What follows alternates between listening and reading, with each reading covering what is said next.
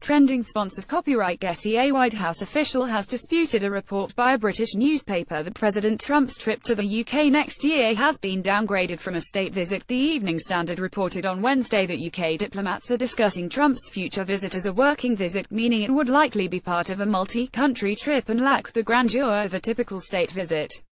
When diplomats are visiting as part of a state visit, they typically stay at Buckingham Palace.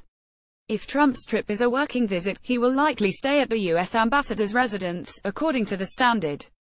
Not accurate. We've not yet scheduled anything for next year, Michael Anton, a spokesman for the National Security Council, told The Hill when asked about the report. The president's UK visit has been a source of controversy in the past.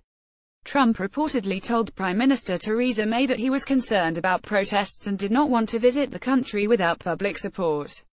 In June, London Mayor Sadiq Khan called for the UK to cancel the visit, which was planned for late 2017 at the time, after Trump slammed Khan's response to a London terror attack.